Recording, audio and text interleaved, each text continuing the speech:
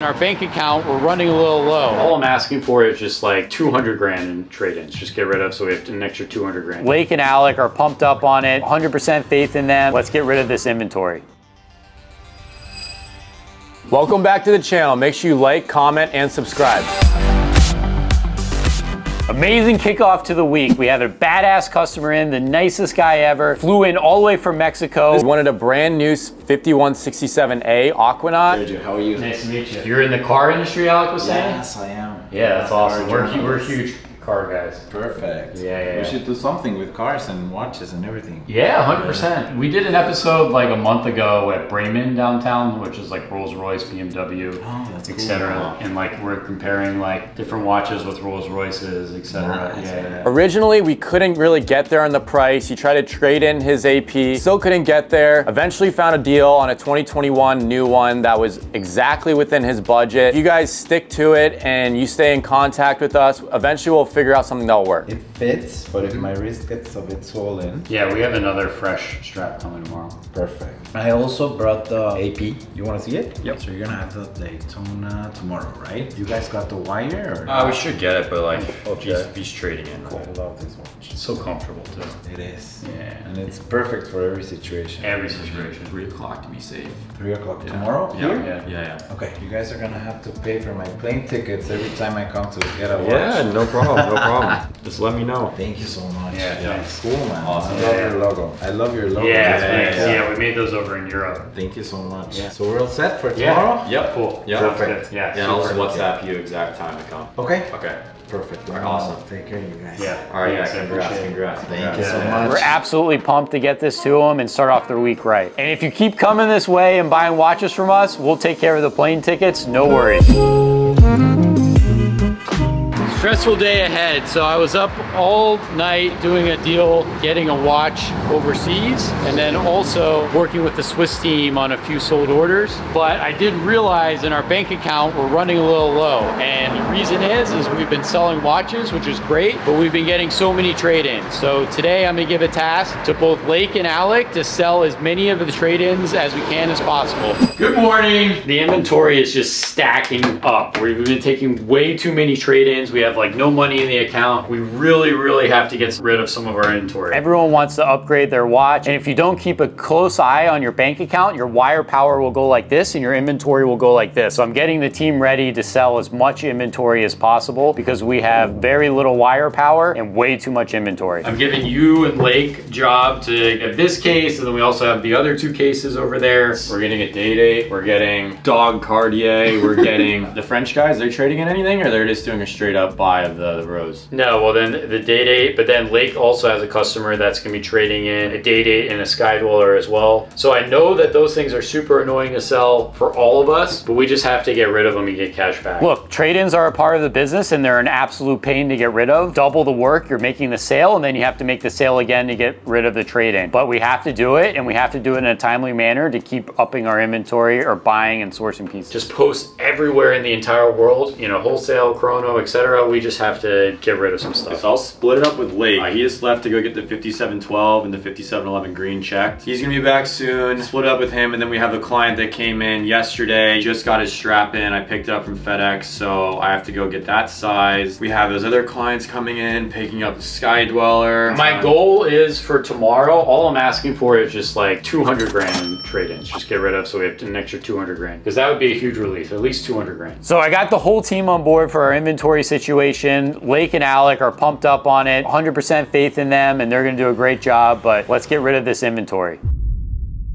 Another week, another upgrade for Andres. This guy first came in and he started off with Datejust. Now he's all the way up to AP Concepts. When you put a tourbillon on a watch, it's like throwing a V12 engine in there. The premium is just like crazy. Because not only is the tourbillon like aesthetically sick, it also has functionality to be more precise on time. It's not just like for looks, even though for looks it's pretty badass. This time Andres was in for a Royal Oak Concept, which is an extremely rare watch. It goes way under retail. Retail on one of these things is 200,000. He just loved how it was a tourbillon. He wanted a tourbillon in his collection. He's worked his way up from Rolex to an AP tourbillon, so congrats to Andres. See how it looks on your wrist. No, let's. It's your, it's your watch, bro. You could open it more, right? You need a larger strap. No, no, no. But I'm saying, can I make it a little bit more loose or no? We'll find you an extra strap. No, it gets bigger. You have three holes, right? Yeah, now it's too big. Right? Yeah, yeah, you need one more. I like the blue though. The blue's sick as f- yeah, blue pops.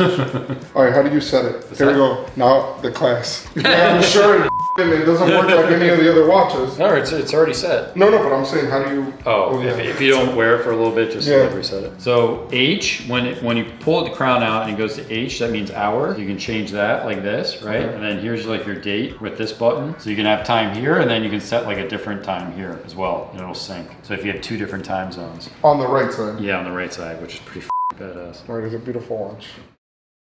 Well, look what the wind blew in. What do you guys think this is? No, this is not a 5711 1A blue or white dial. This is the green dial that was only made in 2021. We got a sold order for this for a very special customer. We can't wait to give it to them. They're gonna be absolutely thrilled. So this is just one of the grills that we're unboxing today. How much was that watch? So they really only made in 2021, so this leaked over into 2022, making it worth a lot more because there's not many 2022s out there. So it's extremely rare to have one unworn like this. Is it's even more rare. So we're looking around 340,000 for this watch. And the retail on that one? The retail is probably is a whopping 35 grand.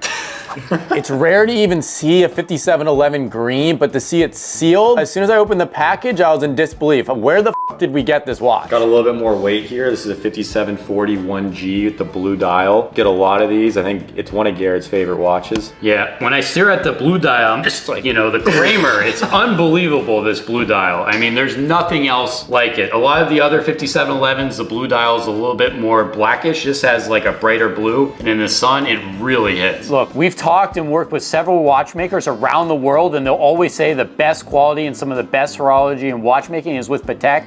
Not only that, but for me, their marketing of their brand is just so emotional and powerful. The aesthetics on their watch is just amazingly clean. The look is just absolute class. You can never go wrong with a Patek. And also in resale, you can never go wrong. It's honestly one of the strongest brands. And Got up here honors. we got one of my favorite watches. This is an example of that blacker blue dial, but Yeah. I mean, I love the way this blue looks. It's a little bit more subtle, but sometimes subtle is nice. This is the new 5990 with the blue. The complication of this watch is incredible. It's a world time. What's your opinion on this watch? I mean, we've sold a couple of them. Yeah, we've sold a couple of them. I really like it in the sense that the case is a little bit thicker. Not only that, Links are a little thinker. Exactly. So if you've tried on a 5711 and it's kind of like too thin for you, a little flimsy, this is the way to go. This is like the bad boy of Big boss, like undercover We've watch. definitely sold a lot more, I think, of the 5990 Rose. Oh. That's super, super popular, especially with that blue dial, which is incredibly bright. This blue is a little bit more toned down, but to be honest, just the dial symmetry is makes it one of my favorite Pateks. I wish I had a bit bigger of a wrist. This is in mystery box number three. 5167R, I've been selling these like hotcakes. We got two out the doors of 5760, 5167A, and then we had a guy come in to kind of compare and contrast, see if it was a good fit on his wrist. He loved it. Now he's coming back today to come pick it up. Great everyday wear. Obviously, it's an aquanaut, so you can go swimming with it. It looks good, and at any occasion, you know, if you're wearing with a suit, just wearing around in a t-shirt, just great all-around watch. And now a bit of a smaller version of that same watch. We got the ladies 5267. Uh-huh. This obviously has the factory diamonds around the bezel. It normally comes in a black strap. This is actually fitted on a white strap. Makes the watch actually pop a bit more and accent some of the little dial coloration right there. So you got the white on a lot of the hands and I think it looks incredible on this strap. One thing, I mean, this is mostly ladies will be wearing this watch, but one thing that really stands out is it's a quartz movement. So when you set the time, it'll always be on time. I know my wife especially, she hates automatic movements. Uh, when she goes to put it on the wrist, she always has to reset the time. So that's a good plus. I know a lot of ladies like quartz movements because of that. Amazing value, just under 50K. Factory Patek diamonds. Yeah. Factory Patek Diamonds,